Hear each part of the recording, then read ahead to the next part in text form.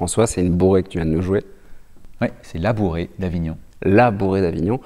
Sauf que euh, moi, je connais la partition, c'est pas tout à fait ce qu'il y a écrit. Là, tu as déjà interprété la partition. Tu pourrais nous, nous jouer vraiment ce qu'il y a écrit, s'il te plaît.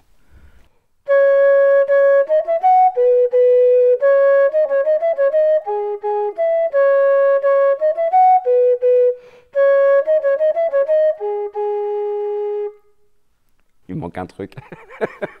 Il y a toutes les notes là. Il y a toutes les notes, mais il manque quelque chose pour en faire justement une interprétation. C'est quoi? Puisque c'est un air de danse, il faudrait ce qu'on appelle la cadence. La cadence Est-ce qu'on pourrait dire c'est l'allure à laquelle devrait aller le morceau? Donc, Alors oui, c'est lié aussi au- à la justesse du tempo, trouver le bon tempo pour, la- pour les danseurs, mais c'est aussi euh, la qualité d'une musique qui fait qu'elle donne envie de danser. Mais ça se note pas, ça. Enfin, je veux dire, la partition, on a les notes, on a les durées des notes, mais l'allure, enfin la, la cadence ne se note pas. en soi. Alors elle est liée à tout un tas de, de paramètres qui sont l'articulation, la forme de- de- des notes, etc. Et c'est une chose qui s'apprend, je pense, au contact des autres, au contact des musiciens qui l'ont déjà eu. Finalement, ça se transmet et, euh, et ça se communique. C'est oui, c'est une communication. Et- C'est de l'oralité. Oui, et moi je l'ai apprise avec des musiciens traditionnels, euh, Et des danseurs? Aussi des danseurs, oui, bien sûr. oui. Mm. Parce qu'en fait, il y a ça aussi, c'est qu'en en observant le danseur, on arrive à voir que le pied va à tel endroit, tombe à tel ça. endroit. Cadérer, ça veut dire tomber. Cadence vient de cadérer. Et ça s'applique, en tout cas, dé- déjà au 18e, on l'appliquait autant aux musiciens qu'aux danseurs. Ça me fait penser, moi, à tout ce qu'on appelle le groove aujourd'hui, enfin depuis plusieurs années maintenant, mais qu'on utilise par exemple dans la funk, c'est-à-dire rentrer dans le groove, dans le sillon, ce que ça veut dire ça, groove. Quand tous les musiciens sont dans le bon groove, ils vont dans le même endroit, et après on peut faire ce qu'on veut au-dessus. Et ça, on pourrait mettre en parallèle avec euh, les musiques traditionnelles, où il y a un groove naturel qui se fait entre les musiciens. Ben, justement.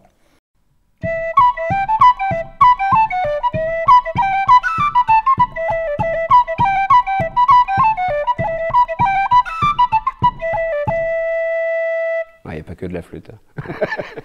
Là, Il y a autant de flûte que de pieds dans ce que tu viens de faire. Là, on est dans un air traditionnel irlandais. C'est ça, c'est la musique irlandaise. Alors, j'ai tapé un petit peu des pieds, en effet. euh, J'aime bien quand je joue cette musique, taper le temps fort avec le talon ici à gauche, et puis le contretemps à droite avec la pointe, pour avoir deux sons différents. Toum, tap, toum, tap, toum.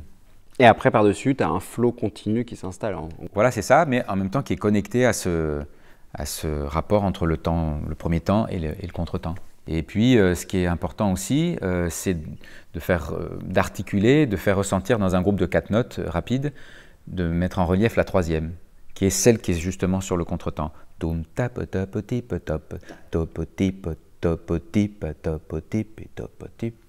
Cut. Donc le moteur s'installe vraiment, quoi. Il y a quelque chose. Ça, c'est dans les musiques traditionnelles. Et c'est vrai qu'on a quelque chose, pas d'inné, mais qui est transmis de manière orale. Dans les musiques écrites, on retrouve cette notion de cadence, parce que, comme on disait, c'est pas noté. Ah oui, oui, oui, oui. Il est, il- on le trouve dans les traités anciens, notamment dans le dictionnaire de, de Rousseau, de Jean-Jacques Rousseau. Et le principe est le même, c'est-à-dire qu'on va évidemment pas peut-être taper des pieds comme ça le temps, le contretemps, on va pas peut-être marquer le contretemps à ce point-là, mais la précision est la même et le rapport entre le temps fort et le temps faible, il est, il est le même. Pourrais nous faire écouter ça dans une autre pièce, s'il te plaît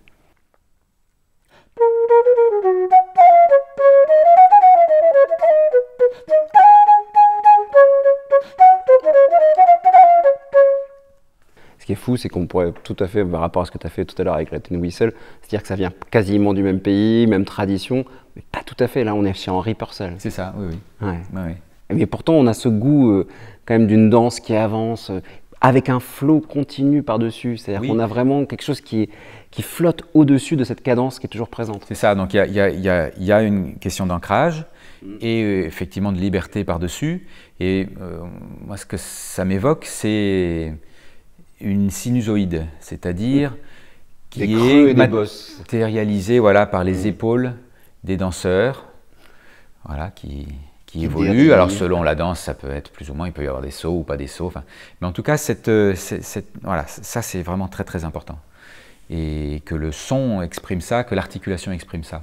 Sinon, on a une ligne droite Mm. et peut-être qu'on va faire des accents à l'intérieur, on va faire ta, ta, ta, ta, mais Ça vit pas. euh, c'est ça, ça manque de vie parce que bah, en fait cette sinusoïde c'est la vie en réalité.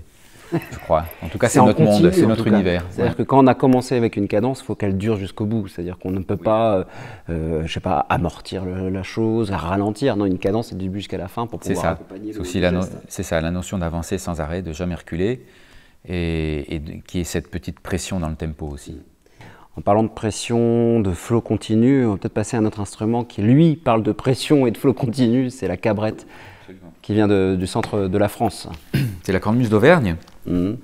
Et lorsqu'on joue de cet instrument, eh bien, on, tape des pieds aussi, on fait une percussion, vraiment une vraie percussion là pour le coup avec les pieds, qui, qui matérialise cette cadence dont on parle, cette énergie qui, qui vient du sol.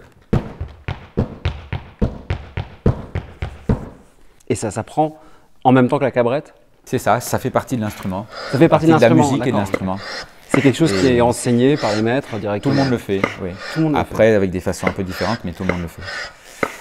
Et ça, ce qui est intéressant là-dessus, c'est que on a un moteur percussif qui est lié au pied, qui va correspondre peut-être à ce que font les pieds des danseurs, et par-dessus, on a tout ce flow, comme on a vu tout à l'heure, qui va se poser sur ce moteur-là, une sorte de pression dont on parlait tout à l'heure, une pression qui est donnée justement pour faire danser. Cette pression, moi je la compare euh, à la pression du sang dans les veines. Mhm. Je pense que si on ne met pas cette petite pression dans le tempo, c'est comme si le, corps manquait lui-même de, pression sanguine. Il n'y a plus de vie, quoi, après. C'est ça. Et d'ailleurs, en parlant de pression sanguine, quand on parle du cœur, le tum tum tum tum tum tum, ça rappelle pas un peu la bourrée, pareil? Et ben voilà. En place pour une bourrée alors